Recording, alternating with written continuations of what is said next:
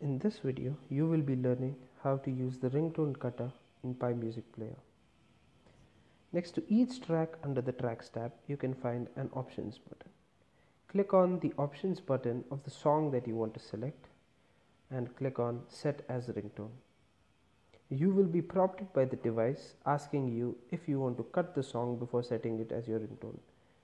Click No if you want to set the ringtone as it is and click Yes if you want to cut your track.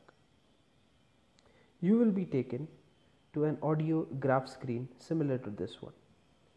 You can select the desired portion of your song by moving the slider and adjusting the size of the slider. You can preview your ringtone by clicking on the play button and you can save your ringtone by clicking at the floppy icon at the bottom right corner.